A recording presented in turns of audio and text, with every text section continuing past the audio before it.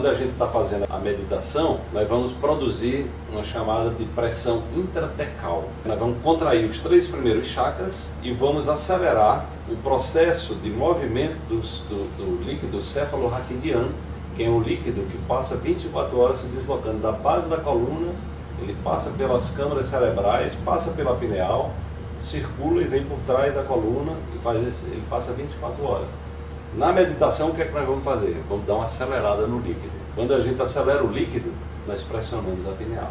A pineal por si só, ela já é uma farmácia. Se você tem um sono reparador, é a pineal que está atuando na produção da melatonina. Só que quando você faz essas, essas ativações, você fabrica cinco, a pineal se desdobra a partir do triptofano, que é que dá origem a tanta melatonina como a serotonina, ela produz cinco variações e aí você tem uma verdadeira farmácia e você vai aumentar a energia cerebral de forma a acessar frequências né, mais altas. Né?